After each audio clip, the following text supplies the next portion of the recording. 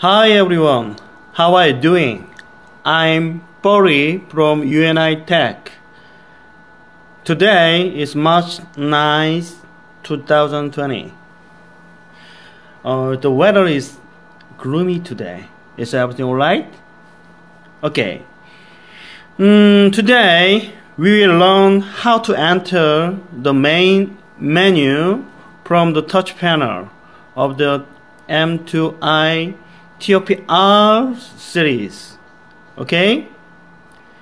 The touch panel product for testing is 10.2 inches Y type TOPRW 1000WD with 16 9 ratio. Okay? Okay. For smooth progress, I set it up in advance. Have a look. The touch panel and SMPS SMPS here power supply okay have been plugged in plugged in here behind the touch panel okay? Okay. Set it up. Okay here you go. Have a look. First of all your finger here touch this side.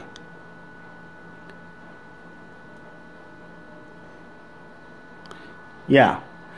Slide your finger down on the top of screen on the touch panel. Do you understand what I mean?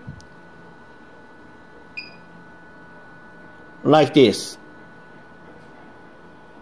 Like this. Have a look. I will try again.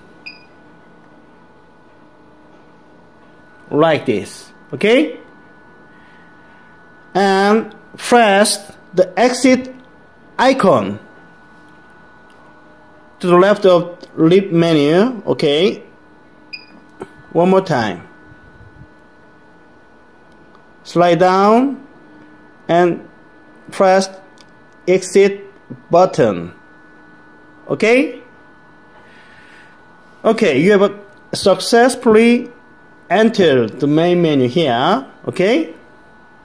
This method is applicable to all TOP series in the TOPR um, families, named as TOPR, TOPRX, TOPRW, TOPRE, TOPRH as well. Okay? That's it. Thank you for watching. Okay, that's all for today. We will back with more useful technical information next time. Thank you very much. Thank you.